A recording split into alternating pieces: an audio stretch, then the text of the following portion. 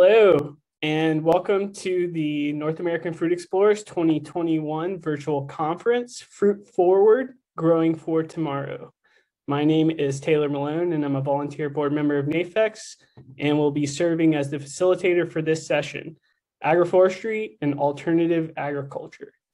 Before I introduce today's panel, I'd like to share a few housekeeping items and a little about NAFEX as we allow a few more people to join. First, this is a webinar, so unlike in Zoom meetings, participants' audio and video features are automatically disabled. Second, we encourage you to ask questions.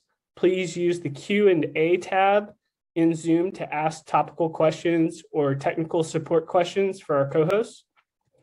Uh, third, if you are newer to Zoom, you can adjust your screen view and some Zoom settings on your device. And finally, this webinar is being recorded and will be made available to members and conference participants at nafex.org. Just a few words about NAFEX. Founded in 1967, the North American Fruit Explorers is a network of individuals throughout the United States and Canada devoted to the discovery, cultivation, and appreciation of superior varieties of fruits and nuts. Although the ranks of our membership include professional pomologists, nursery owners, and commercial orchardists, NAFEX members are all amateurs in the truest sense of the word, and they are motivated by their love of fine fruit. NAFEX members share ideas, information, experiences, and fruit propagating material via our website, social media channels, fruit-specific interest group meetings, and annual conferences like this one, whether in person or online or both. As a paid NAFEX member, you get four editions of the Pomona Journal each year, as well as the ability to search 50 years of pomonas in our digital library, which contains a wealth of fruit growing information. This organization exists because of fruit growing members like you, and we encourage you to continue your membership and become actively involved as an interest group member, committee member, or board member. Please visit our website to learn more at nafex.org. So first off for today, we're gonna have NAFEX board member Chris Homanix uh, come on and share a quick introduction to the concept of agroforestry. Uh, see if we can get Chris up on here. Hello, Chris. Thanks, Taylor. Mm -hmm. Hey, Taylor. Uh, well, welcome everybody. Um, I think some of you probably uh, aware of what agroforestry is, but I suspect not everyone is. And what is agroforestry? Well, it's a combination of two words, uh, agronomy and forestry. It's really something that we have been doing as human beings since before written time all over the world. Um, not every culture, of course, is integrated with the forest, but most cultures of the world have been or are integrated with trees in some way. Um, I want to give some quotes and some kind of philosophical background too. And so, quote, what we are doing to the forest of the world is but a mere reflection of what we are doing to ourselves and to one another. Chris Maser. And uh, as you all know, we live in a time of broadening chaos and disorder. It's frank and, you know, just prevalent and noticeable and in our face. And uh, trees and forests, by their very nature, offer balance and normalcy. Um, they offer us solace and uh, peace, a place to contemplate reality, life, our relationships, where we are, what we're doing, where we're going. Um, they help normalize the climate. They develop soils uh, that are rich um, and diverse. They uh, store nutrients and water in the landscape. They offer many rich niches for species to live. Um, they also can meet many of our supply line needs locally of foods, medicines, and materials. Um, forest ecosystems can last for a very long time. And um, the nutritional density of tree products uh, also tends to be higher over annuals. Um, quote, a society that grows great when old men plant trees who say they will never know um, that whose shade they know they shall never sit in, a Greek proverb. Um, they remind us that there are many generations that came before us of humans, um, of of what came before us. Um, that that there is a, we we sit in a long time frame on this planet. We sit in a cosmological framework as well, and they remind us that if we take care of things, that there are many generations to come. Um, trees are are a metaphor in that way for us to understand deep time, um, and in that way, uh, they also provide uh, good yields over time as opposed to annual agriculture. Um, I like my carrots and corn, but uh, chestnuts and apples and persimmons and more are more enduring, more viable over time. Um, a seed in the heart of an apple is an orchard invisible, a Welsh proverb.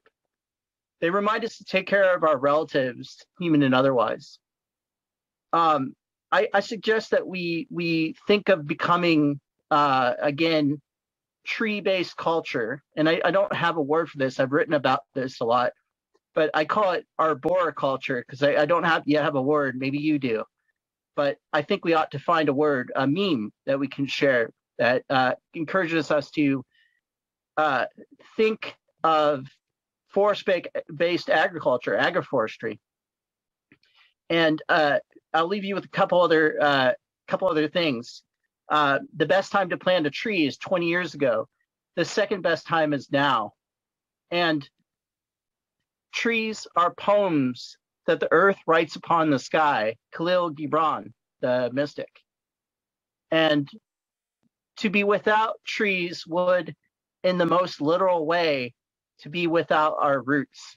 So I, I hope you listen deeply to the following speakers. Uh, they offer a lot of different perspectives of what agroforestry is, from orchards to uh, more of a horticultural sense, sense of tending the forest. So thank you. Taylor? Awesome. Thank you so much, Chris. Um, all right, so now it's my pleasure to introduce our panel members. Tonight we're joined by Zach Elfers of the Nomad Seed Project, Max Paschall of Shelterwood Forest Farm, and Erik Hagan of the Savanna Institute. So without further ado, let's get started. It's my pleasure to introduce Zach. Zach runs a small nursery, Future Forest Plants, which specializes in native tree crops like hickories, persimmons, walnuts, hazelnuts, chestnuts, plums, pawpaws, and more. He also grows a variety of native plants and edibles, medicinals in particular, Zach's ecological understanding is informed by years of study and travel, supplemented by research, reading, and writing, some of which is shared at the Nomad Seed Project blog. His main interest is cultural landscapes and the ways in which indigenous humans and bioregional ecologies may partner together in mutually supportive symbioses. Within the context of agroforestry, he comes to understand swiddening systems through experiment. In addition to growing plants and trees, he practices fire management and general landscape level tending of ecosystems. He lives on a 10 acre homestead in south, uh, southern Pennsylvania along the Susquehanna River, the ancestral mixing pot land of, and forgive me if I do not pronounce some of these correctly, Susquehannock, Shawnee, Lenape, Conestoga, Haudenosaunee, and other peoples like the Tutelo and Saponi. And please correct me, Zach, when you get on here. Um, but you can follow Zach at nomadseed.com and on Instagram as Woodland Rambler. So, with all of that, Zach, if you would like to take it away, we'll figure out how to get you up on here. Hey, everybody. Thanks, Taylor. Uh, it's exciting to be here with all of you. Um, I have a slideshow I've presented here, so let me hit the button for sharing the screen.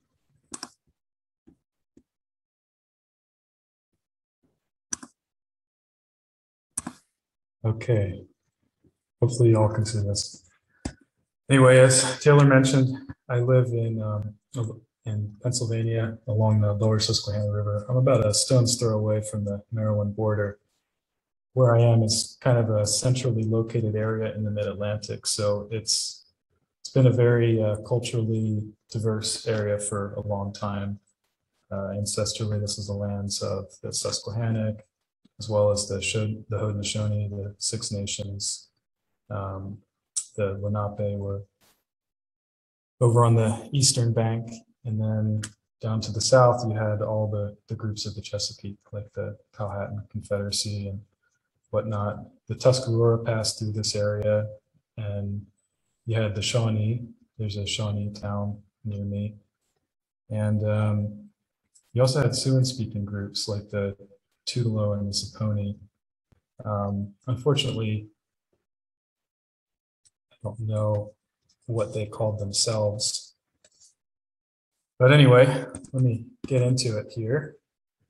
So, as Chris was introducing this concept of agroforestry, it's it's pretty simple in one sense. You know, it's just agriculture with trees.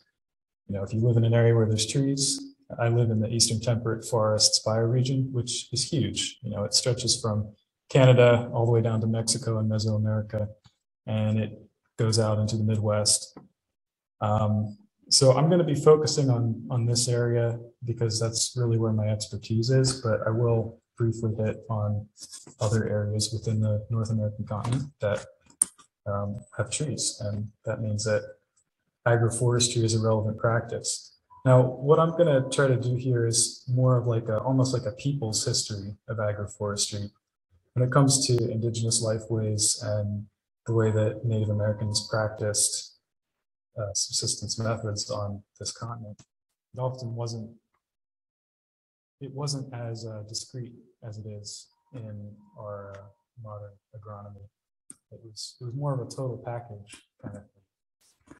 But at, at the heart of all of this was the slash and burn method. This was the, the initiatory step. You'll also see it called swiddening, referred to as swiddening elsewhere. And the idea is pretty simple. You go into woodland.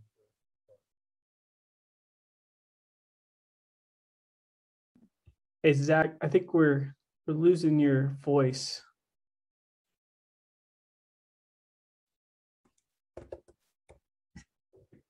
Chris, can you hear him?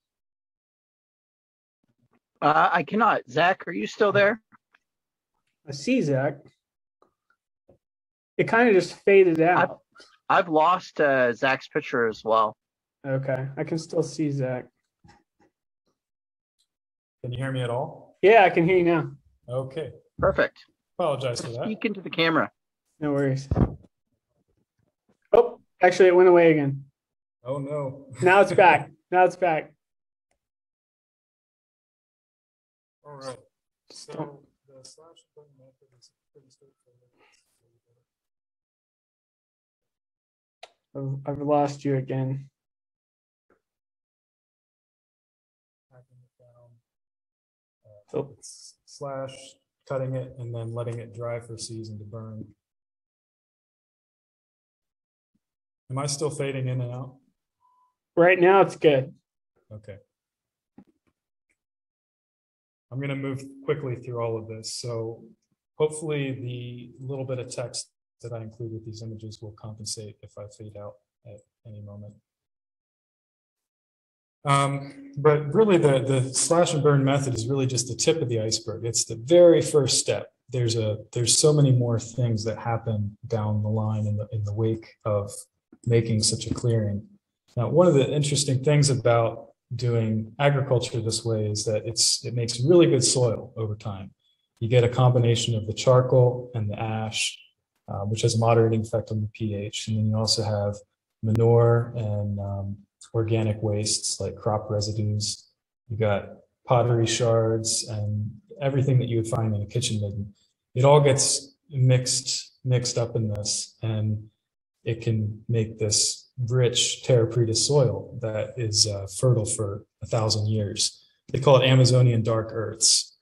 And people have noticed that where indigenous people have settled, there tend to be these really amazingly rich soils. You can see on the left what's more typical of Amazonian forests, you know, highly oxidized, uh, leached, um, basically nutrient poor soil because most of the biomass is is up in the up above above ground.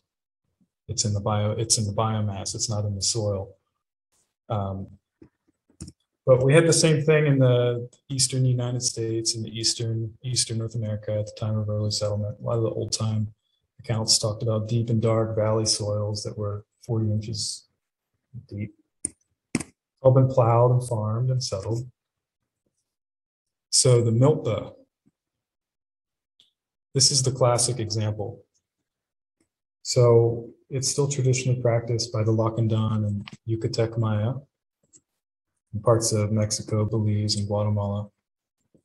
Um, it's hard to translate exactly. I, it's often just stated as cultivated field, but when I look into it, it, it seems like it has a little more depth there, something like the inheritance upon which we all stand, um, which we all depend. And the, the milpa is the is the slash and burn plot that's then transitioned into a garden. So this is a shifting form of agriculture. That's important to point out because you can see on the bottom, the Eurocentric farming practices have these fixed fields. They have these rigidly defined property boundaries, and they tend to not change year after year, season after season. So you end up doing the same thing over and over again in the plot. Whereas with the Swiddening method, because it's mobile, um, it's it it moves through the landscape, and you end up with this shifting mosaic, this patchwork landscape that you see above. And this is what sustained the Mayan civilization and many others. So the milpa is a cycle. This is important to point out. That's cyclical nature. And it begins with the slash and burn process. And then the milpa workers, when they sow the fields, they can sow up to 80 to 120 distinct species. But what grows first? The annual plants, of course. And the centerpiece is the corn, beans, and squash, the three sisters, which we know has been exported and through trade and good relations all through North America. But there's all kinds of other annual plants like chilies and amaranth and chenopods and sunflowers and tobacco and all those stuff would be in the in the first phase of growth. But then after a season or two, you uh, more perennials start to come online, and uh, then the plot grows into a forest garden. This might be year three, four, five. Depends on your region. Depends on the methods practiced. And then that forest garden will transition back into woodland and finally, fi- and finally, high forest something resembling old growth. And at this point, it could be slashed and burned, and the cycle initiated again. So why why is this important?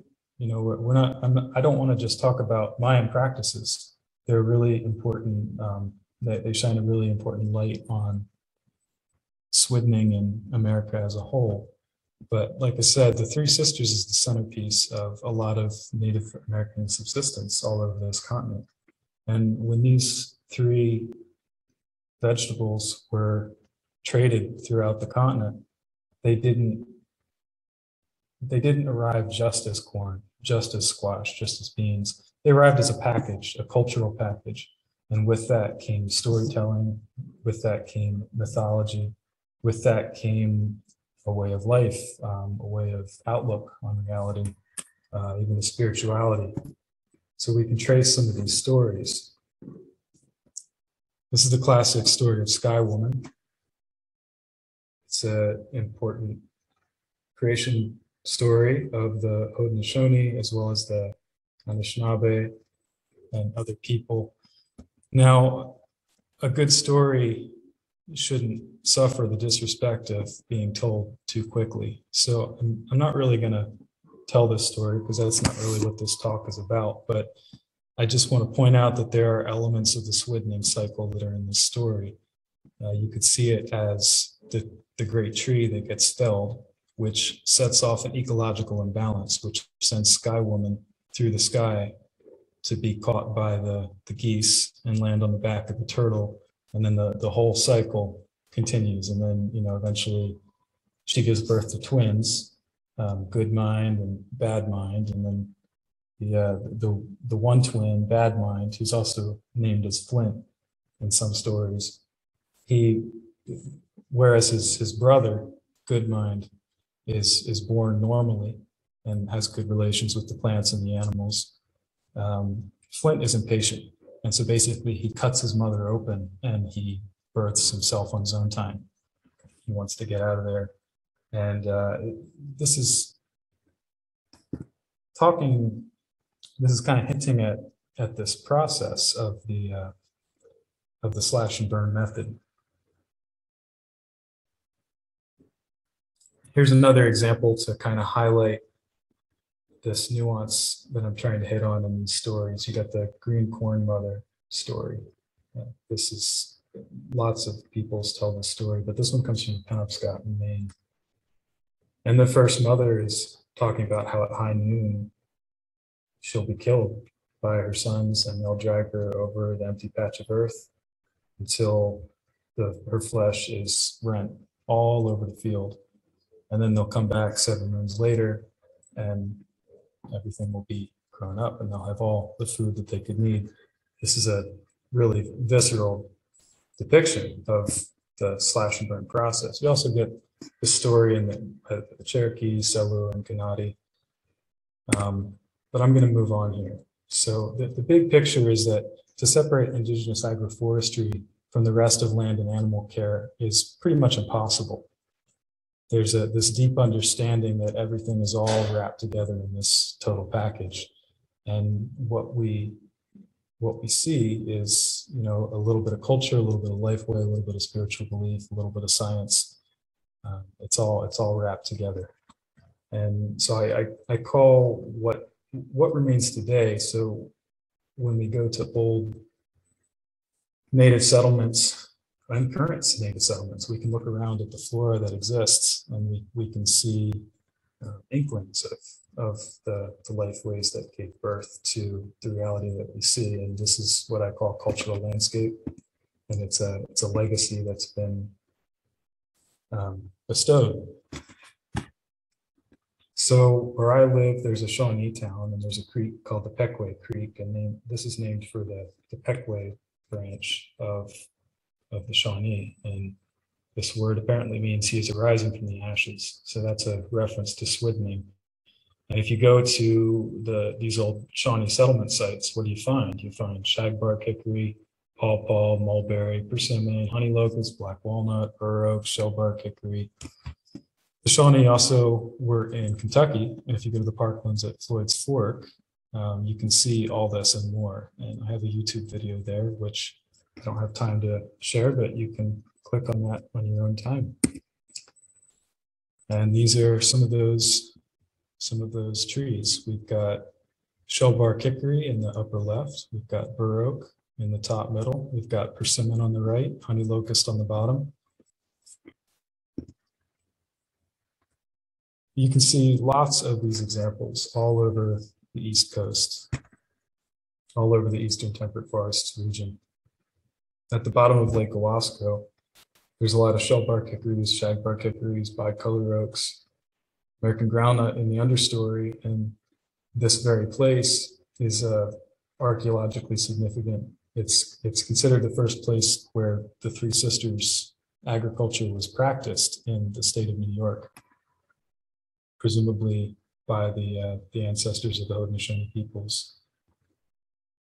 And historically, if you look through what used to grow and still grows in that area, you find pawpaw, honey locust, Kentucky coffee tree, bur oak, camas, hazelnut, all present in this small area. And it's no accident that the that these trees are here and the people are here. And we have the method. We know how they did it through the slash and burn method. You got about five minutes, Zach. All right. This is another example of a place down in Nantucket, uh, Nanticoke, sorry. And we've got the word Alabama, which is the same as Altamaha, uh, which is famous for you know John Bartram finding the Franklinia along the banks of the Altamaha. But according to a Choctaw scholar, it, the Alabama means clear thickets to gather up brush and vegetation. We've got Manhattan, which is the same name is reflected in other words like the Manatawny Creek in Berks County, Pennsylvania. So Manhattan Island was host of a legendary grove of shellbark hickories on the south, south end of the island that all the groups of the lower Hudson Valley region knew about and they came and they would trade. So this linguist, Ives Goddard, has put together a really compelling case about the true meaning of the word Manhattan. He basically says it means where we gather um, hickory wood for bows. So, you know, this is providing some uh, glimpse on what management may have looked like, you know, with a coppicing and felling of smaller trees for bows, whereas the larger trees and the, the ones more desirable for nuts would have been let go for food. And if you go along the Manatawny Creek in Berks County, Pennsylvania, what do you find? Shellbark, hickory, shagbark, black walnut, pawpaw, hazelnut, persimmon, bur oak, and chinkapin oak. In the Pacific Northwest, you've got Kitselas Canyon, um, Robintown. So this is in British Columbia. It was a it's a forest garden uh, composed of like apples and hazelnuts and things like that. Um, and this is an example of some of the species that are in the eastern temperate forest regions that would be part of anthropogenic um, indigenous agroforestry. Stone fruits like plums, we've got hickory,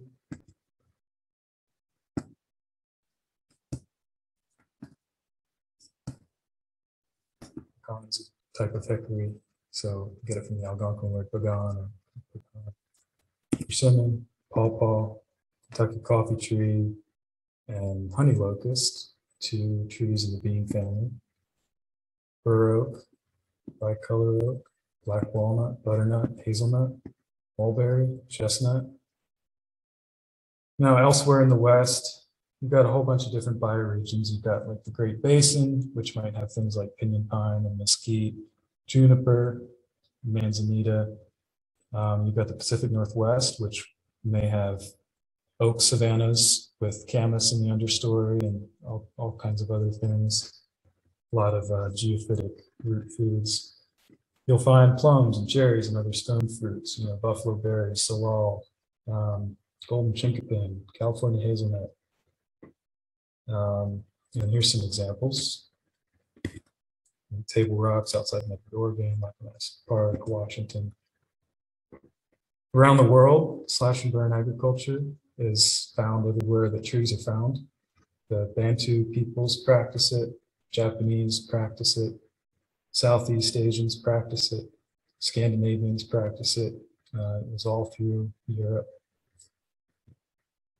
And here's some book recommendations.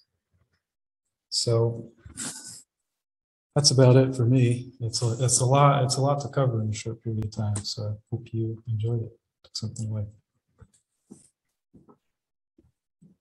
Thank you so much, Zach. Yeah, that was a whirlwind for sure. I can imagine you can go on for quite some more time, and I would like to hear that. Um, we're going to hold questions and answers until the end of the webinar. So I am going to go ahead and transition to our next speaker, Max Paschall of Shelterwood Forest Farm. Uh, Max is an urban forester and fourth generation horticulturalist from Philadelphia, Pennsylvania. In 2016, he started Shelterwood Forest Farm, an experimental land stewardship project focused on climate adaptation, agroforestry, and horticultural research. All right, Max, the floor is yours. All right, thank you. Mm -hmm. All right. Hi, everybody. Uh, my name is Max Paschall. I'm uh, from Philadelphia, Pennsylvania, and um, the towns around it. Um, yeah, I'm really excited to be here and uh, speak with you all about a very special place that uh, Zach and I and a number of other folks um, have been exploring and uh, advocating for and researching uh, for the past, I think, about five years now. Um, you know, when we think about agroforestry and, and where it's at, it's, you know, in, in this country, you know, it's all the projects seem to be very young. You know, at most we'll have a couple that are a few decades old, but there's uh, many more that are starting up all the time. But there's there's very few examples of, for sure, as Zach was talking about the um, uh, the indigenous um, manifestations of and, and expressions of uh, forest culture and, and agroforestry. Um, and, you know, for, uh, I guess, agroforestry systems that, that can work uh, on like on the basis of private property in the in the same manner that a lot of people are starting them up these days you know there's there's very very little to actually look at to see like what does this look like at maturity. And so uh, that what we're going to look at is actually very exciting because it's uh, a place that anybody can go. It's in the northeast just right outside philadelphia and it has trees that are up to 100 years old um, and a number of the species that zach was talking about. So let's get started so in a sleepy town uh, just outside philadelphia a mature agroforestry system has been growing and evolving for the past 100 years. It was started by a man named John Hershey in 1921, and these historic plantings consist of hundreds of mature trees that were suddenly left without a caretaker when Hershey died 60 years ago. This unique collection was subsequently carved apart by development and left in a state of near complete neglect. During these intervening years, uh, these trees faced a wide range of climatic ex- excesses, from droughts and deadly heat waves to polar vortexes and hurricanes. And yet, in spite of everything that's been thrown at them, these rare fruit and nut trees still thrive and show what is possible for growing food in this challenging climate. From their origin in 8,000 year in indigenous forest gardening traditions to boosting biodiversity and increasing climate resiliency, the trees at the Hershey Nursery in Downingtown, Pennsylvania offer a lot more than just fruit. They are a unique and truly remarkable treasure and a living testament to the power and importance of this work. So, how did this begin? Uh, in 1921, a man named John Hershey started a small nut tree nursery on eight acres east of Downingtown, Pennsylvania, a town about an hour west of Philadelphia. He worked the nursery during the summer and moonlit as an arborist in the winters to make ends meet. Initially, he sourced a lot of his early tree material from other nut growers and breeders in the region um, who were uh, I think at that time, or at least later on, part of uh, the Northern Nut Growers Association. Um, and uh, but it wasn't until the 1930s that he obtained most of the remarkable trees that subsequently became the backbone of his agroforestry farm. So during the Great Depression, the government initiated the TVA, uh, or Tennessee Valley Authority, uh, as part of the New Deal to bring publicly owned utilities and modernization to the Tennessee Valley, which is an area that experienced high levels of poverty. Uh, like 30% of the people had malaria. Um, the, the soil was absolutely ravaged by bad farming. Um, it was just the, the area was, the entire region was, was in a dire situation. The TVA was created to help solve some of those problems. Uh, and as part of that, they opened up an, a tree crops department. And uh, J. Russell Smith, who wrote the book uh, Tree Crops, a Permanent Agriculture, who, uh, that many of you might know. Uh, if you don't, it's an amazing, it's an amazing book. Um, he knew John Hershey, who was a young man at the time, and recommended him. And John Hershey became the the head of the uh, Tree Crops department for the TVA. So uh, at the TVA, Hershey initiated a number of projects that quickly bore fruit. Um, and uh, one of them was, you know, in order to source the best genetics and germplasm possible of different tree crops, uh, he would put out ads and contests in local newspapers across the rural South and say, if you have honey locusts with really great pods that are very sweet, send them in. If you win, we'll give you 50 bucks. You know, if you have amazing persimmons, send them in. We'll give you 50 bucks if it's the winner. You know, hickories, plums, like you name it. And this is the same strategy that Elizabeth White used in southern New Jersey about 30 years earlier uh, when she was uh, creating the uh, blueberry industry from scratch.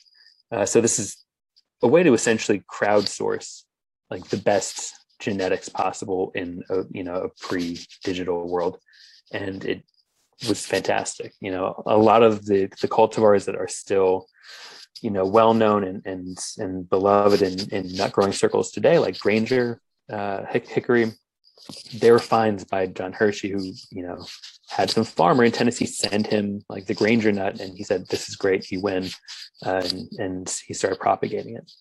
And same thing with uh, two cultivars of uh, honey locust, Millwood and Calhoun, that have uh, up to something like 40% sugar in the pods, like something like outrageously high uh, levels of sugar from a native tree. Uh, and he utilized those extensively uh, for cattle feed. Um, so this is a very elegant method for uh, you know achieving results pretty quickly and it, it, was those same varieties that he was you know crowdsourcing from small farms across the south that he later brought back to downingtown and what's really important to note here is that this was you know we're talking about like a pre-industrial south like a uh, you know, an area that has changed a lot in the past hundred years. So there were still trees in the landscape back then that you know if if they're 100 years old then then they would have been there at the time of you know before europeans in many cases. And so what you have is this crucial period in time this crucial link between the indigenous land management systems that uh, zach was talking about and um, the kinds of agroforestry that, that we're planting today and um, yeah, because like no, very few of those trees are still in the landscape now. You know that they've all been developed. Uh, so he got in there right at the at the last moment. Uh, but so he he left the TVA, comes back to Downingtown, and for the next thirty years, he developed his tree crop farm and sold grafted and seedling trees of his best uh, stock to farmers across the country. Um, J. Russell Smith writes extensively about Hershey in his book Tree Crops. He even has a detailed map um, that shows uh, Hershey's farm. You know, this is um, uh, the map that we use when exploring it, and you know, there's a lot of areas that still match up. And so, you know, when, when we're talking about okay, like what was Hershey's farm, you know, he had incredible diversity of everything you can imagine. Uh, filberts, blueberries, English and black walnuts, chestnuts, peaches, cherries, pears, jujubes, sugar maples, chinkapin and bur oak, uh, mulberries, wild plums, persimmons, honey locust, more oaks, uh, pecans, pecans, hickories, and, and, and even more. Uh, so this was a place where he was really just um, uh, just going hog wild with uh, with tree crops and seeing what was possible in in the southeastern Pennsylvania climate. So this year, uh, 2021, excuse me, uh, marks the 100th anniversary of the Hershey Nursery, and the oldest trees on the site are likely close to that age. You know there's still like a couple pecan trees that are just unbelievably huge that like right on the street you know that that could easily be some of the largest and oldest in the world. Um, so this is one of the only places where you can actually see mature pecans persimmons honey locusts hickories and more that are close to a century old growing together in a cohesive way um, so for people thinking about agroforestry this this site is absolutely like essential. You know, you, you cannot go wrong go, going there. Uh, and more impressively, many of these trees are accessible to the public. You know, after the farm was sold off, uh, it's parceled out and developed. So now, you know, there's a strip mall and a preschool and, you know, housing development and a church. And uh, it's still developing. You know, we've lost a number of like amazing trees in the past two years, uh, which is a real tragedy. Uh, but there's still many that exist, and they were just left in like the grassy medians. You know, like you're you're parking in a parking lot, and there's uh, you know persimmons dropping next to your car. You know, there's black walnuts dropping onto cars driving down the highway right next door. Um, there's a giant pecan tree just looming over the street. You know, this is all just in public rights of way. Um, and so you can literally just drive up to the Quaker, to the Quaker Meeting House in Downingtown, look across the street, and you see this, and it's absolutely breathtaking. So, you know, while um, while American agriculture has largely been based around European crops, what John Hershey, J. Russell Smith, and their colleagues were finding um, was that native nut and fruit trees offered unbelievable potential for improvement and integration into farming systems. Uh, Hershey sourced superior genetic material throughout the East Coast, but he had the most success in the Southeast, particularly in uh, Tennessee, the Carolinas, and Georgia, which is, um, uh, and so what he had an inkling of, and perhaps didn't uh, know the, understand the full extent, was how much these incredible tree crop finds of superior hickories and honey locusts and others were the remnants of thousands of years of indigenous land stewardship and crop improvement. The fact that the best honey locusts were discovered in traditional Cherokee territory, a culture that has extensively used this tree, is no coincidence. Uh, even the most basic look at southeastern native land management in the early colonial period, or you know, uh, what, even what Zach was talking about just now, which is a great introduction to this, um, demonstrates that almost all of the trees that Hershey and other agronomists were finding and working with were the very keystone species of indigenous forest gardens that were tended across half this half of the continent. So the fact that Hershey had so much so much success uh, achieving high yields and good flavor and robust growth habits with these trees was because the genetic material that they were breeding with had already undergone 8,000 years 8,000 years of or more of selection and improvement by native farmers in North America. John Hershey was sourcing his plant material from a landscape whose indigenous stewards had been, with rare exceptions, uh, forcibly removed a century or two prior. The entirety of his success was founded on this fact. Uh, the plants that he was using were important remnants of the rich and diverse native landscapes that made this continent a paradise. Um, but even with the wonder and power and importance of Hershey's work with agroforestry, at best he was working with the mere shadow of the forest gardens and managed landscapes that had been here before.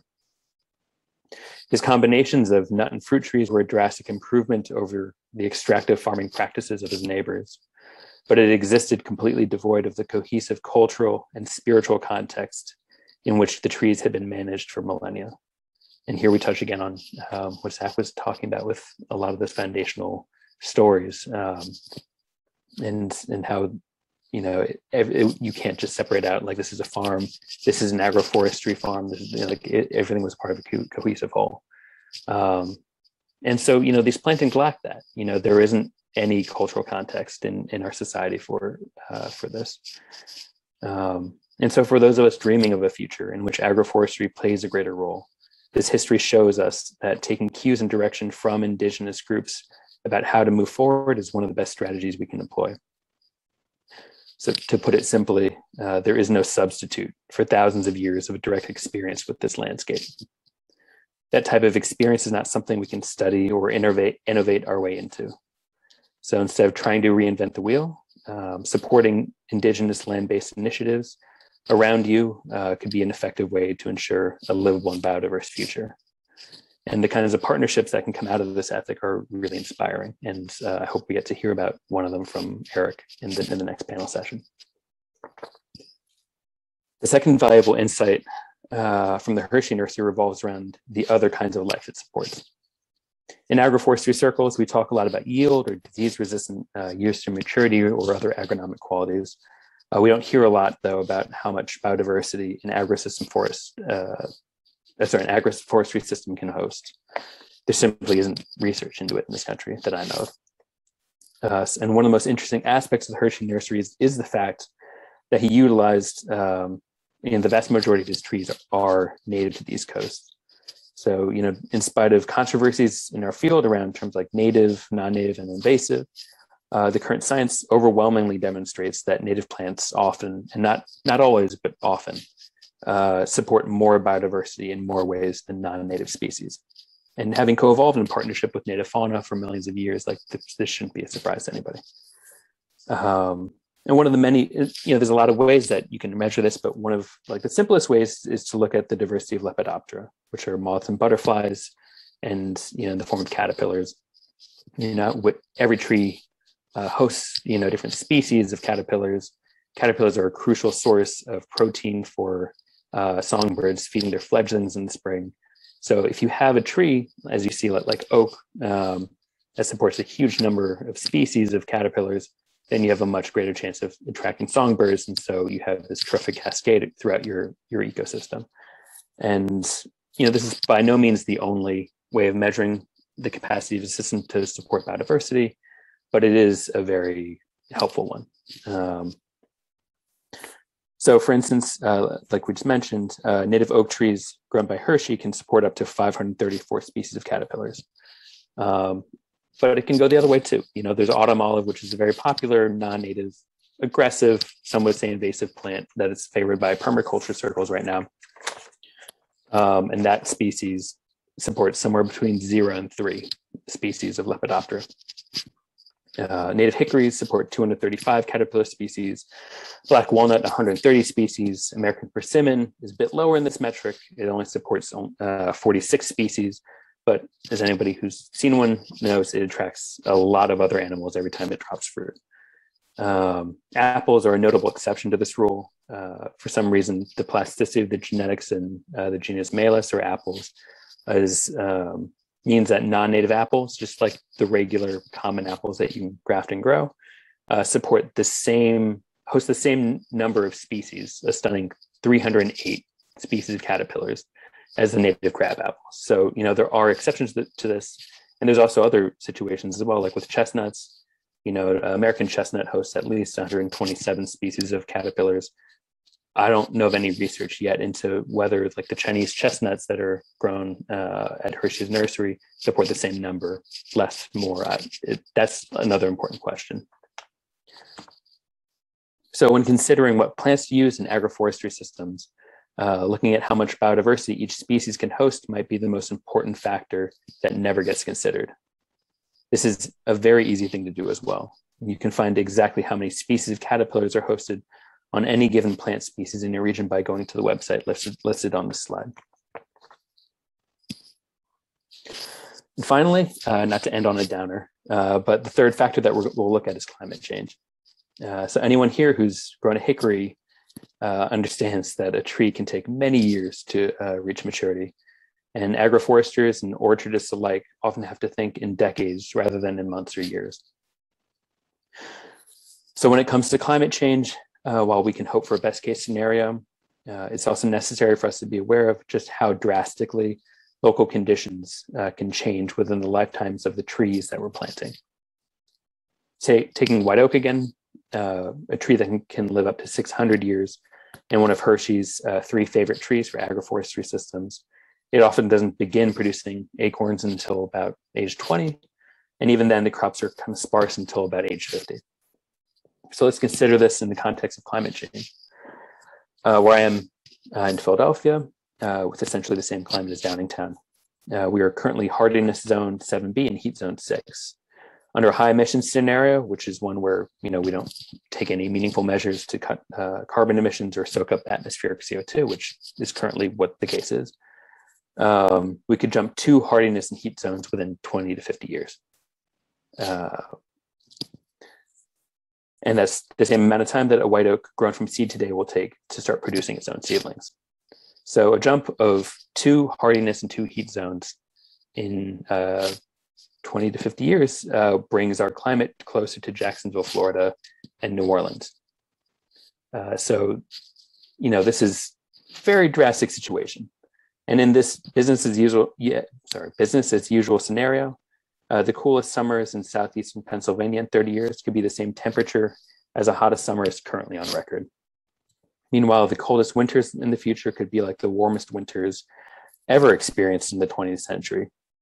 Um, under these conditions, Pennsylvania's forests will change drastically, and some of our most diverse habitats will likely be lost in favor of a much more southern palette of oak, hickory, and pine forests. And if you want to learn more about these uh, projections um, and just make sure I'm not making them up out of whole cloth, uh, you can check out um, the Northern Institute of Applied Climate Sciences, this branch of the Forest Service. They have free uh, seminars and trainings throughout the year, fantastic resources. That's NIACS for short.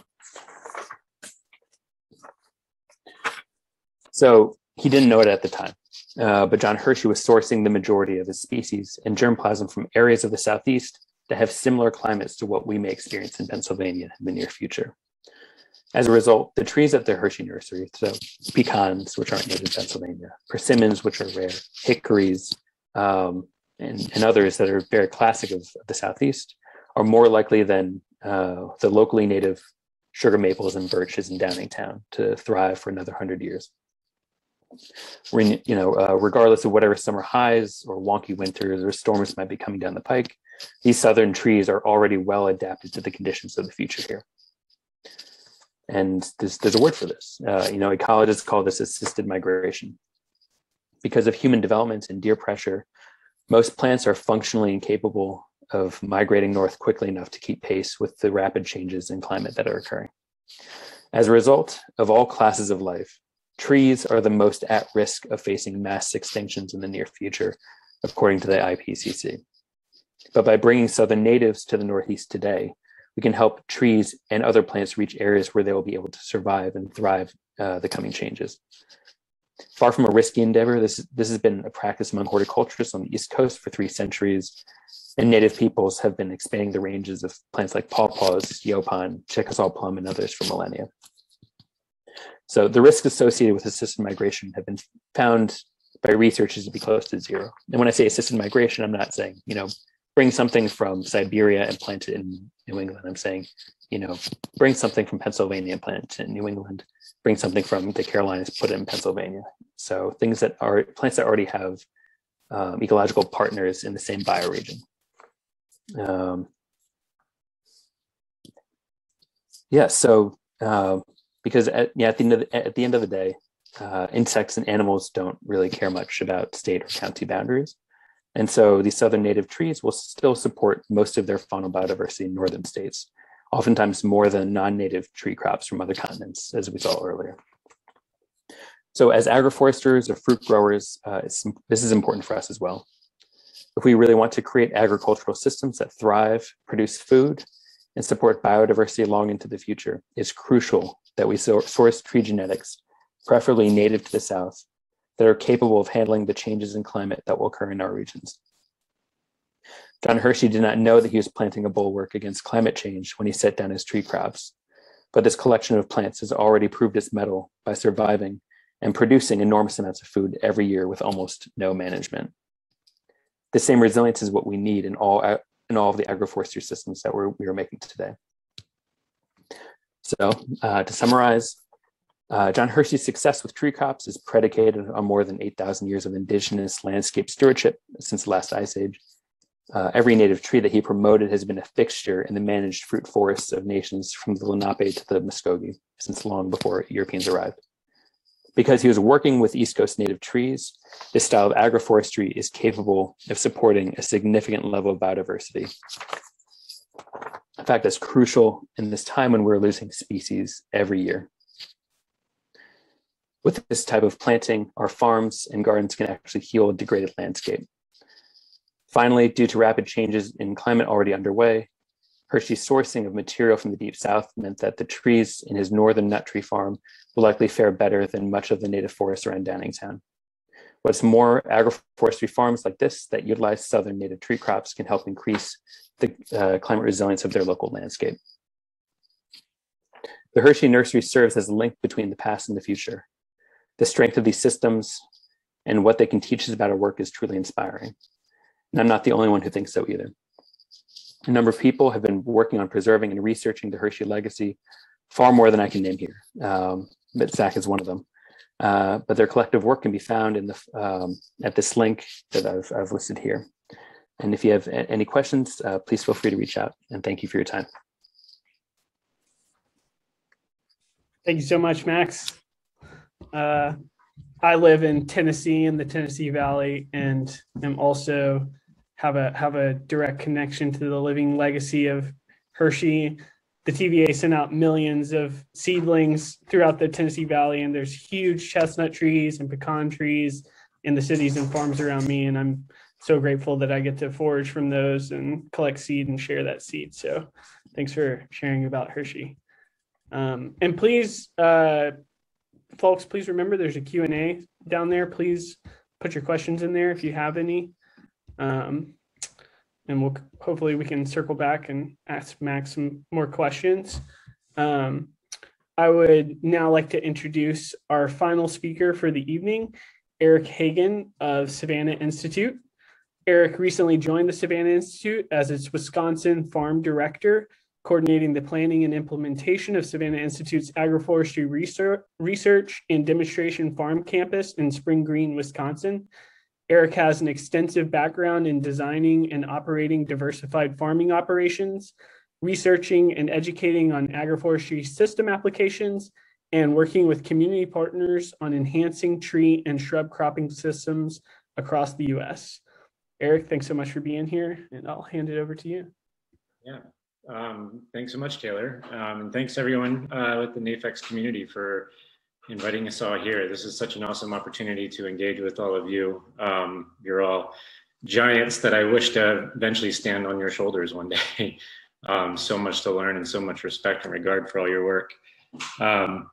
And same with uh, with Max and, and Zach um, to follow their presentations. This is going to be pretty difficult, and I can attest. I had uh, the opportunity to visit the Hershey site with both Max and Zach at one point a couple years back, and to see their passion and their commitment to preserving that site, and and not just that site, but the general landscape and the cultural landscape around the Philadelphia, Pennsylvania area is incredibly inspiring and has, it has really, really inspired a lot of my work um, all over the, the US, but, and most recently here in Wisconsin, um, in the Midwest.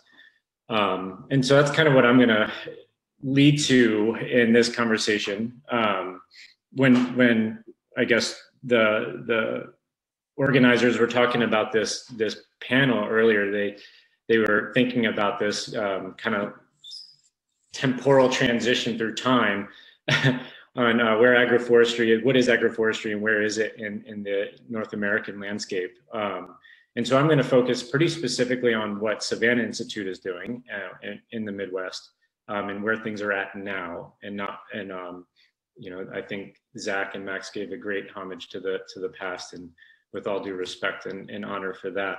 Um, I'm new to the Midwest, so I, I don't feel like I have the permission from the elders yet to speak on what what this landscape was truly like. As I said, I still have a ton to learn and, and engage with this landscape. So I'll just give a, a run about what Savanna Institute's doing and uh, kind of where we're hoping to move agroforestry in the future. Um, a lot of our work really focuses on um, this main issue of land sparing, it's called, um, where you have a form of agriculture on, on one part of the farm, conservation in some certain areas, then nature way over there, and um, not really sure. You know, this is kind of the status quo um, that we're we're hoping to kind of uh, capsize, so to speak, by integrating tree cropping systems in in in and within the agronomic system that kind of exists, particularly in the Midwest. But uh, as you all know, this is pretty endemic everywhere in the world at this point with industrial ag. So I'm not gonna I'm not gonna go too far into all that, but that this is kind of the in a sense, this is kind of the, the keystone, uh, to go back to PA, of where our work is, is really coming from is kind of getting rid of and challenging the status quo and, and reminding and remembering where we came from um, and what's important in life and that it's not just our bottom line and profitability and that sort of thing, but kind of how do we re-envision the landscape and re-envision communities and and remember and, and um, and honor those of the past. And the way we do this is through agroforestry, the purpose of this, this conversation here. And currently the modern definition of agroforestry kind of sets aside five practices. And I really don't like to do this, um, but I'm kind of last in the temporal time scale. So I'm gonna, I'm just gonna hit it. But the, by the USDA definition, and this is accepted globally, there's technically, there's actually technically 146 or something like that practices of agroforestry, but the, the five main ones that we kind of talk about are alley cropping, which is the integration of tree crops with a annual cropping system or a perennial if it's hay or something like that. Uh, so forage or, or grain cropping system, veggies, that sort of thing. Um, there's riparian buffers on the upper right. Um, so this is kind of the edge of field practice to, to and hopefully enhance water quality or restore natural ecosystems along riparian systems. Um, forest farming, which is uh, the production of um, understory medicinals or edibles within a closed canopy system. Uh, windbreaks and hedgerows, also an edge of field practice. Um, and silvopasture, which is integration of livestock within uh, tree cropping systems. And the important thing to remember here is these are just kind of the the, the polar opposite or the polar extremes, so to speak, the du- the dualities, so to speak, of things. Um, but really, agroforestry is, as we've heard from the last two speakers, is a pretty massive gradient um, and can look a million ways. And, and we have a lot to innovate and learn, and we have a lot to remember, as was described earlier, about what agroforestry really is. But the one thing's for sure is agroforestry just has a whole slew of, of enhanced ecosystem service possibilities, everything from economics to climate solutions and water quality improvement, habitat, and all that that was so eloquently put earlier. Um, and so that's kind of exactly what we are focusing on. We're, we're, we're catalyzing a new way to farm, specifically focusing in the, in the Midwest and also to acknowledge that we are not the only ones doing this. There, there are folks all over the world. There's so amazing folks and partners all over this country and all over the Midwest doing this.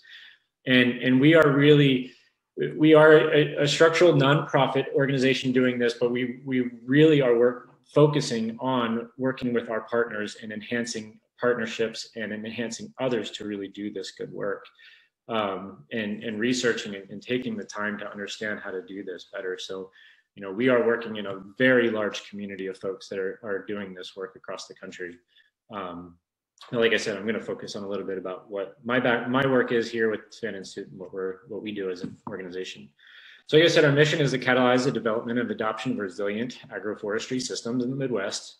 Um, we do this with uh, focusing on tree crops themselves, um, actually looking at breeding and uh, restoring genetic repositories and looking for for uh, good quality enhanced genetics um, and figuring out how to actually um, grow those into a, in a system that is economically and ecologically viable where it makes sense and how it makes sense.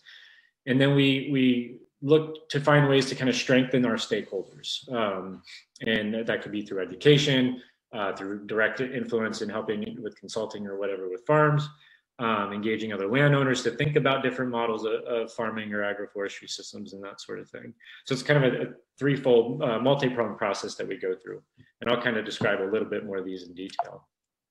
Um, the way we kind of go about doing this specifically is, is again, we're kind of moving into this, this kind of linear progression um, moving forward from here where we are looking at breeding programs and genetic repositories and, and kind of rediscovering the good and best genetics doing R&D on how to produce them in ways that are more efficient or more ecologically uh, viable or ways that would just in a sense get people to actually plant them and care about them in the world is is probably the second hardest thing uh, next to finding these things. Obviously there's amazing people out there finding these things um, these species and, and remembering them and reminding us of them um, and then we're, we're actually piloting these systems. So we're, we're developing a number of Go First farms where we actually implement the systems, um, demonstrate how they work across different contexts, different soil types, different climate zones, um, different communities, um, and then find resources to help folks scale it up. So it, it's an actual viable system in the Midwest. And I'm saying a lot of this specifically because the Midwest, as we all know, is very large industrial ag. So we do tend to think right now, a lot of our focus is on these broad scale agricultural acres. We are really out to supplant corn and bean farming. um, not directly, we are kind of looking at a successional system, but that are, is lar- a large focus of, of ours is looking at these large scale systems to have a large scale impact. And of course, along the way, working at all the other different scales from orcharding, small scale orcharding to urban forestry, urban food forests and these sorts of things. But a lot of our work really is kind of tailored on research on kind of larger scale systems. So we can really kind of work our way into more broader landscape dynamics um, for broader change. Um, some of our programs uh, uh, that we specifically do this with is through education outreach, technical support for adoption, uh, research, tree crop commercialization program, uh, demonstration farm uh, network and the Spring Green campus, and I'll go through each of these really quick. So our education um, and outreach program, uh, we have an apprenticeship program, which with an online course and um, and we connect uh, apprentices with uh, various farms across the region. Um, so they get on-farm experience and an online, full online course. Uh, we also have a ton of field days, webinars, an annual conference, the Perennial Farm Gathering. Um, a pitch for that is coming up this February. Um, and then we have a ton of uh, media and resources that we put out on our website, social media, and all that good stuff. Um, so our education outreach is is very strong focus of ours, and has been the primary focus of the Savanna Institute. Um, and now we actually start moving into more kind of land-based uh, programs. Um, so technical support's one of them. This was recently la launched this past year in partnership with the Natural Resource, the NRCS, the Natural Resource Conservation Service um, and a few other programs where we can actually go out and do one-on-one uh, farm consulting. We're specifically focusing on natural resource concerns and preservation, but also helping with kind of the economic and agronomic agroforestry systems as well, especially in large-scale alley cropping and silvopasture. Um, but we are focusing a lot as well on these edge of field practices like riparian buffers and windbreaks and alley cropping and, and contour buffer strips and these sorts of things that can help with water quality. Water quality is a big focus for us in the Midwest as it is everywhere, as it should be. Um, right now, our focus areas is, is, southern Wisconsin and northern and central Illinois, but we are expanding that into Iowa and, and Minnesota as well, and hopefully through the Great Lakes Basin pretty soon.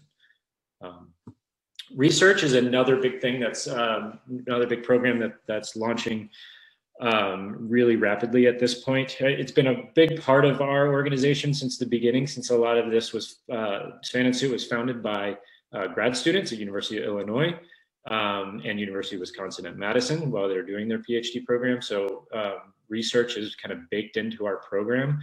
Um, but we are we have now just hired a research director, so we're really launching a whole new realm of research that'll focus on a lot of kind of genomic uh, tool sampling for, for looking at different breeding programs that we're looking into. Um, we do work primarily in kind of zone six zone three. Um, so a lot of this is we're really, and more so in the zone five, four region. Um, so we are really looking at varietal trials specifically for, for the kind of cold hardiness climates um, of the Midwest where we're gonna have our larger impact. So we're working on a lot of different uh, varietal trials um, on a number of different species. That list is not conclusive. Um, we're expanding that pretty tremendously.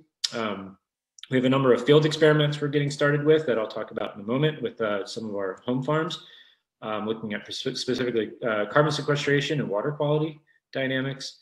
Um, and then we have a lot of other things like uh, ground cover, uh, prairie planting, uh, you know, savanna restoration, different tree tubes, mat efficiencies, different planting strategies, um, kind of getting the max's uh, point on some of the wildlife considerations with some of these species, really looking into that since we do live in a, in a prairie landscape, prairie savanna landscape, um, where that restoration is priority. Um, and then we have a lot of uh, different technology developments with uh, hazelnut harvesters and, um, and different kind of automated uh, processing and aggregation systems um, and yes, robotic chestnut harvesters is a thing. um, but also with GIS tools, where we're actually kind of building tools to help landowners and um, interested parties find uh, find areas in their region that actually work best for certain crops. And this is just kind of a start. It's kind of a research program, but also it's just a way to build tools for helping uh, farmers that are interested in agroforestry kind of see what's feasible on their landscape based on what we're learning and what all the experts in the in the community are, are discovering and having a more networking and sharing platform available for folks to kind of hit the ground running without kind of reinventing the wheel over and over again. Um, similarly with tree crop commercialization, this is a really important thing for agroforestry. A lot of the crops we're working on do not have established markets at this time um, or are really challenged by that market end of things um, our you know American culture doesn't like new things, um, and we are working with things that are not new, but people seem to have forgotten them, um, which is pretty sad, but it's kind of true. Um, and so we are actually actively working with a, a, whole slew of different stakeholders and partners on different market and supply chain uh, pathways for making sure that these these species and these production systems actually have kind of a long long range successful story. Um, so we're working on aggregation systems, like I said, kind of uh, facilities for aggregation and processing and co-op development, um, and um, you know, harvesters and and hubs, regional hubs to kind of help with with accessing, harvesting, and processing equipment, and all those sorts of uh, different bottlenecks that we were kind of discovering as we we deep dive research into a number of these different species. And we're putting out that literature on our website and making it public publicly available so other communities can kind of understand, get a get a jump start on understanding what are some bottlenecks, even you know nationally about what what uh, what some of these cropping systems are facing and and how they might strategize in their own community to make sure that works for them. Particularly right now, we have the hazelnut and the chestnut um, impact investment plan out. Um, and I think the elderberry one and the current one is coming soon. Um, but there'll be many more to follow with that, hopefully. Um, we also have a whole network of demonstration farms across the region. Um, some of these demonstration farms are ones that we actively manage um, and we design, planted, and actively manage. And then there's others, of course, with partnership farms that we work a lot, we work very closely with. Um, we have great relationships and partners with we use for education and the apprenticeship programs that sort of thing. Um, and these demonstration farm programs are really important for getting the word out. And I think the NAFEX uh, conference a few years back visited a few of these, and particularly in, in Illinois. Um, this one actually, Allerton is new. Um, this is an 80 acre cornfield um, that was uh, where they integrated uh, different, an experiment of different ground covers. So some have prairie strips, some have just Dutch white clover, um, different prairie strips in, in the tree crops. You can see the, the tree tubes um, in the picture on the right. Um, and then primarily the, the tree species in there are hedgerows of timber species. Um, so all native species. Uh, there are persimmon and pawpaw and, and hickories and oaks and um, a whole slew of, of timber species. And you know the idea is to maintain this corn corn system because this is an alley cropping demonstration, a long-term alley cropping demonstration, but to demonstrate how you can work at commodity scale systems. Um, one of the farms that the NAFEX community visited um, a number of years back was Saturn and Vulcan Farm. And Saturn Farm is the farm with the, the black currant plantation, um, plantation, but black currant orchard, um, but also a polyculture of uh, black locust and pawpaws and chestnuts and heart nuts and all the different things. And with alley cropping of rhubarb and asparagus. And that's going really, really well. Um, these pictures are not as recent as I hope, um, as I should have. Um, but this year was the, I think, the third mechanical harvest. You see the Joonas in the upper left corner. Um, the Joonas harvester, uh, mechanical harvester for black currants. Um, and the harvests are, are increasing every year. And there's great data coming out but with the different cultivars that are plant, uh, planted out there. And it's just a fantastic resource of information um, as we kind of get started on these kind of commodity, almost commodity scale orchards. This is a 20 acre uh, black currant planting here. Um, Silverwood is a demonstration farm in Wisconsin, um, not too far from me. Um, this is uh, currently right now we have an organic uh, farmer uh, cropping in the alleyways. This is a 30 acre site. Uh, we have a chestnut varietal trial uh, looking at cold hardiness um, varieties. Um, a lot of these are coming from Tom Wahl and in Iowa and Badgersett and from um, Bill Rutter in Minnesota and uh, all over the place. A lot of Chinese American hybrids, um, but a whole semblance of different, all planted out and replicated um, varietal trials, so we can really see what what species are doing really well. We're planting some hazelnuts out here.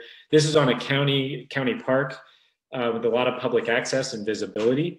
Um, and, and as this system progresses, hopefully even next year, we're working with another, another partner that is um, from the Oneida Nation that's looking at using this as a as a seed corn um, preservation site, as well as integrating livestock in that. So this is a really awesome. All of these demonstration farms work are working in partnerships with other community, community members to kind of support the important work that a lot of other partners are working on throughout the region. Like I said, it's not just us doing this. Um, this is this takes a whole whole community to make all of this work. Um, this is just another picture of this site right now, we have it set at 80 foot wide alleys with a very large scale organic cropper. Um, and then this will slowly get trees planted down the middle of these 80 foot alleys and slowly succeed into a more integrated uh, system over time. Uh, last year was uh, sunflowers for uh, sunflower oil. This year was dry beans. It was a pretty cool site to see. Lastly, and part of uh, my work, which I'm specifically focusing on with the Savanna Institute, is the Spring Green Campus. Um, Oh, I feel like I'm missing a slide. Yeah. Um, so the, the Savanna Institute has been challenged with a lot of these demonstration farms and, uh, on a number of different fronts, primarily around the research and the, the genetic repository components and the, and the ability to advance genetics through breeding.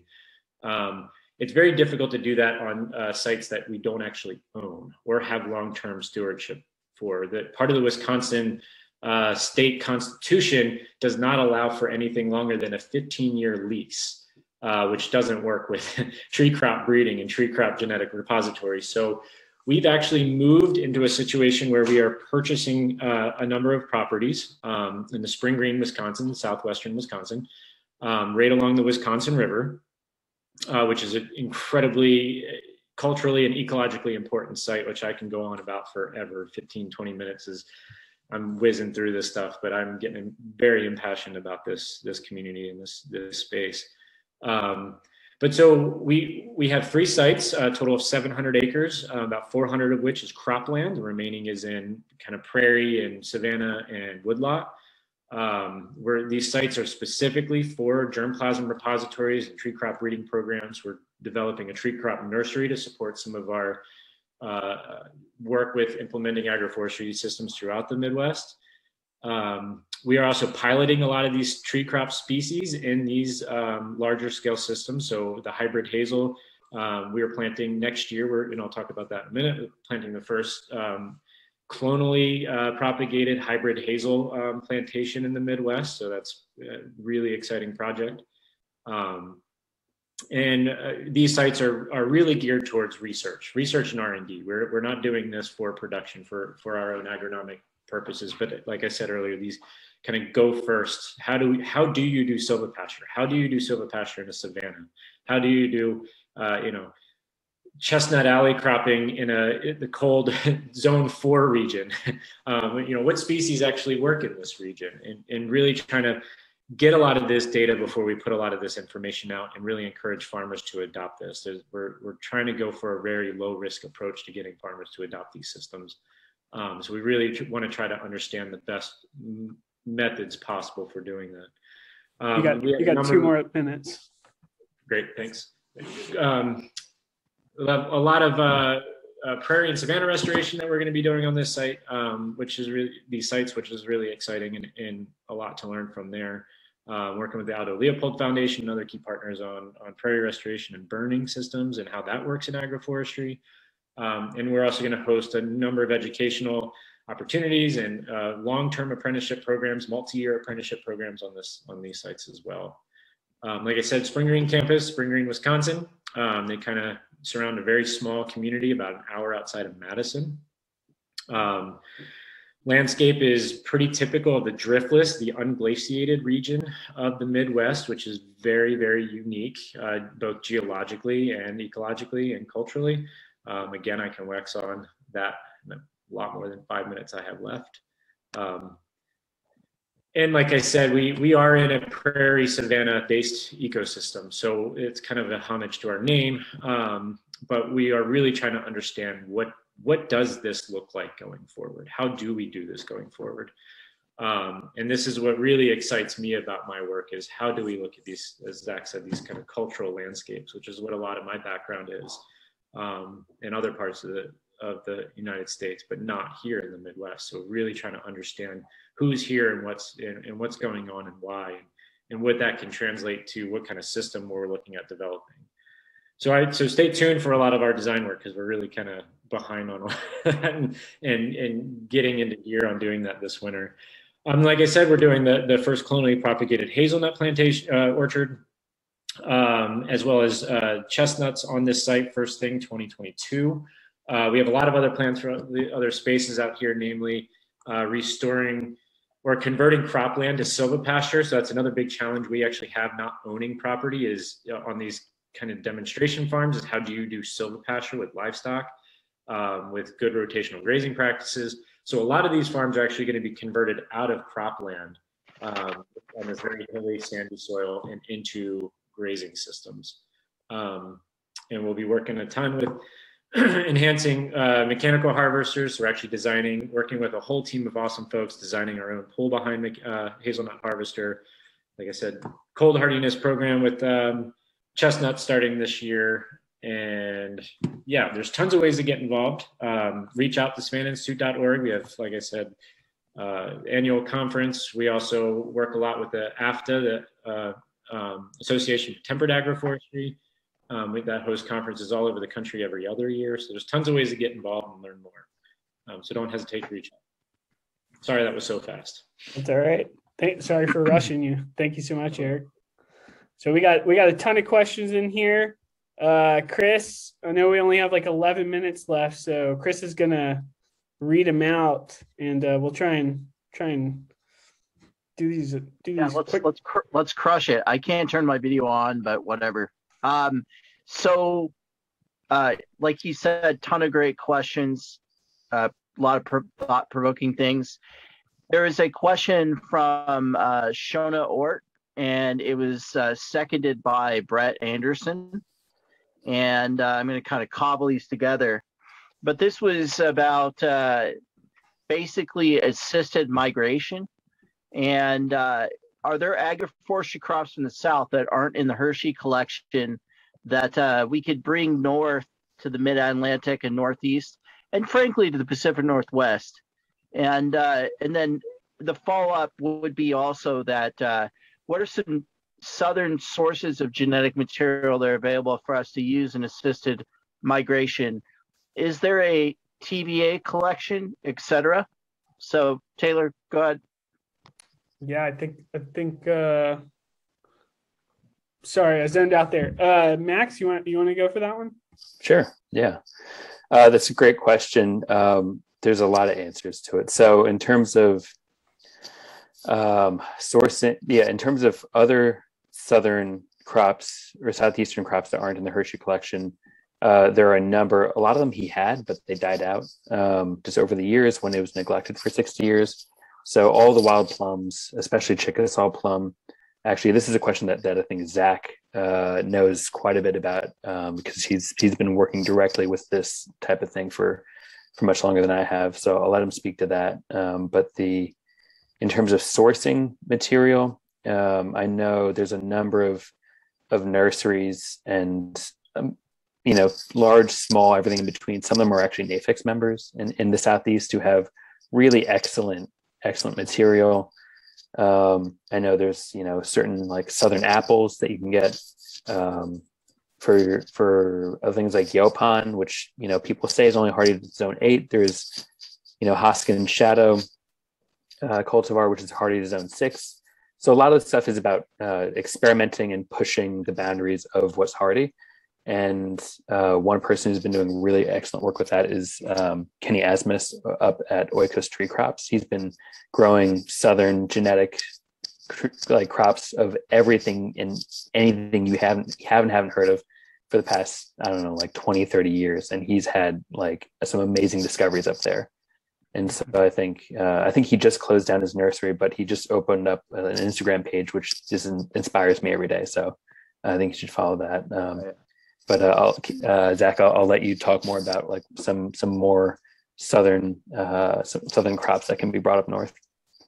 Sure. Uh, well, Max, you did a really good job of covering it. I'm not really sure what to say. Uh, I, I second your, your notion that a lot of the NAFEX members are a really good resource for acquiring germplasm. There, supposedly, there's still remnants of the TVA plantings. Taylor would know more about that. Um, but again, you know, a lot of this stuff, even even if the germplasm exists in a planting, a lot of these plantings have been neglected.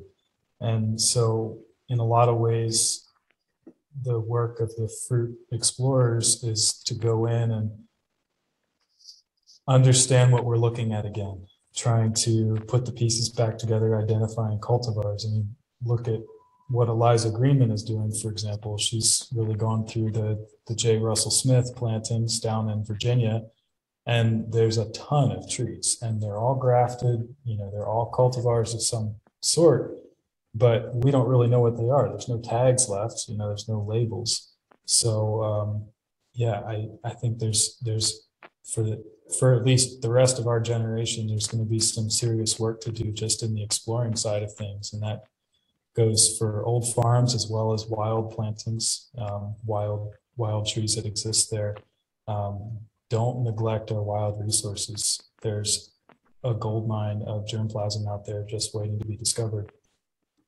Um, let's let's uh, yeah. let's ask another uh, question. This this actually comes from uh, two different people, and uh, Taylor, you'll know who this goes to. Um, but uh, one is uh, books that have recorded indigenous wisdom uh, when it comes to agriculture and agroforestry and another is actually resources on uh, potentially uh, tree species and what um, what species they support. Um, and uh, and then uh, also I'll just weave in general resources too. So for folks. Um, so at the end of Zach's presentation, there was a uh, recommended books um, thing. So we'll we'll have that on the website. The, the this video will be up um, tomorrow, but uh, maybe we could do like a quick draw if y'all each wanted to say like a book that just comes to mind that you would share, or if you if you have one that you would would like to share, um, starting with Zach. And then maybe Max. Uh, well, the the question was specifically asking for like spiritual econo- ecological um, wisdom. It sounded like That uh, could I- be part of it. Yeah, you can answer that. I think uh, braiding sweetgrass would be a really good place to start from uh, Robin Wall Kimmerer. Um, as far as like the nuts and bolts of uh, like all the pieces go, there's uh, a lot of really good books out there, and there's also a surprising lack of books out there. There, uh, so there's yeah, I, I would refer back to the book list I, I showed.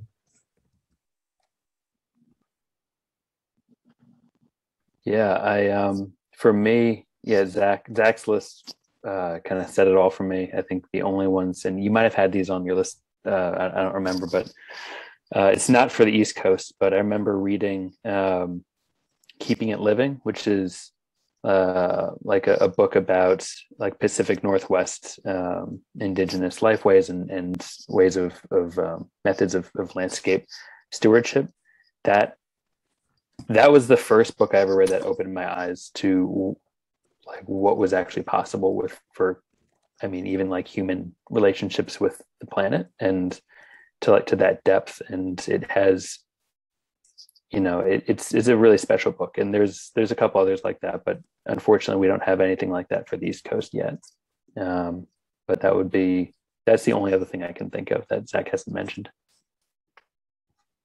I was going to say the same book. Uh, um, but yeah, I mean, I think on the, the native stuff, the, the indigenous community work, you know, a lot of these are written by anthropologists. They're written by, by um, the non-native community. And there's a lot of things lost in the translation. Now, Nancy Turner did with Keeping It Living, did an amazing job um, working with the, with those tribal community members. She's a true ethnobotanist.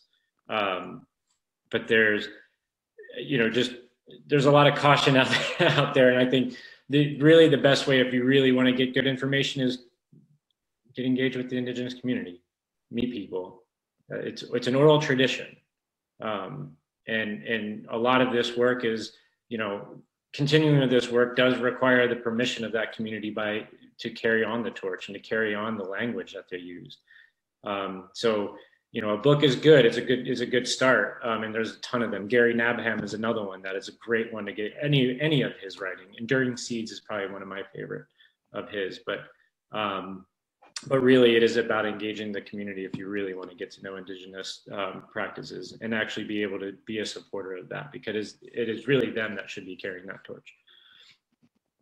Cool. Yeah. Awesome. Well, unfortunately, we are out of time. Um, but thank you, Erik, Max, and Zach, so much. I really enjoyed that. Um, folks, I know we didn't get to most of your questions. I don't know if you panelists can answer any of those questions by typing it real quick while we're still here. If you want, I was trying to do that a little bit here. Um, also, folks could ask it in the NAFEX Facebook group if you want.